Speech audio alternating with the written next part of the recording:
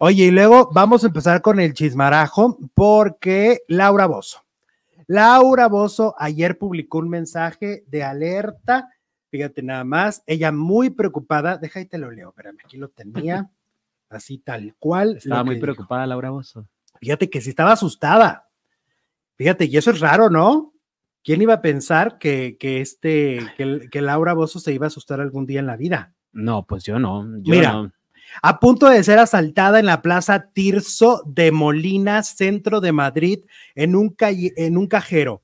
Grité tanto que el ladrón se asustó y salió gente a ayudarme de un café. Fue horrible, pero todo bien. Ojalá haya más control policial en esa zona. No creo que esté todo bien. pobre ratero. No creo que, exacto. El pobre ratero debe estar infartado ahorita. Imagínate que de repente te empieza a gritar Laura Bozo despavorida. Ajá. Pues si es para correr. O sea, si es para que te espantes. Oye, no, pero ya fuera de, de, de, sí, está cañón el momento. ¿Qué- broma. ¿Con qué la espantaron? ¿Con una pistola? ¿Con una navaja? pues con... regularmente siempre traen o arma blanca o arma. Ah, arma. canijo. Sí, no, no, aparte es una señora, ya es un adulto mayor, Ajá, o sea, el susto debió ser fuerte.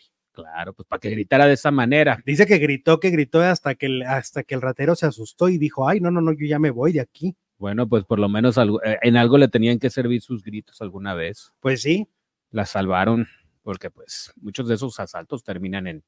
claro. O, por ejemplo, cosa. con Mariana Levy, que el hecho de que la fueran a asaltar le provocó un infarto y tenía 39 años. Exacto. Imagínate nada más, o sea, Laura Bozo podría, podría haberse quedado ahí del susto. Podría ser otra la historia. No, pues qué mal, ¿eh? Qué mal la inseguridad.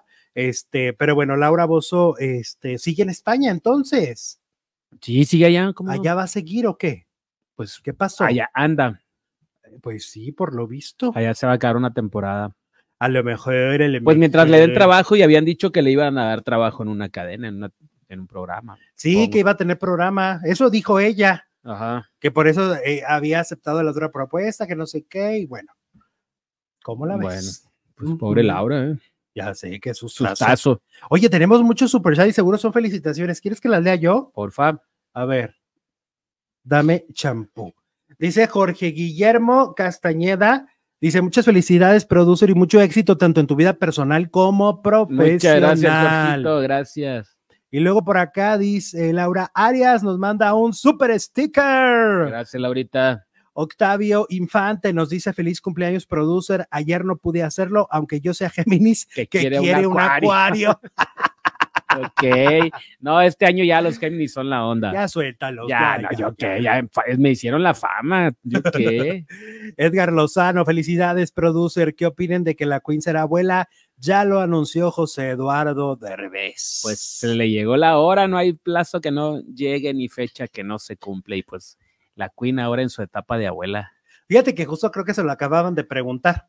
Y ella dijo, ay, pues sí, claro, claro, no tengo problema en ser abuela, porque tú sabes que algunas famosas dicen, no, no, no, y que ni se le vaya a ocurrir decir mi abuela al chamaco, ¿no? Ajá. A mí que me diga, este, Mamá, María, mamá, Maribel, Mamá dos, Victoria. mamá Victoria, no, no, no. Pero la Queen, yo, yo siento que la Queen es una mujer muy ubicada a su edad, ¿no? No quiere aparentar una edad que no Pero tiene. aparte, pues todo el mundo conoce su historia, es un libro abierto.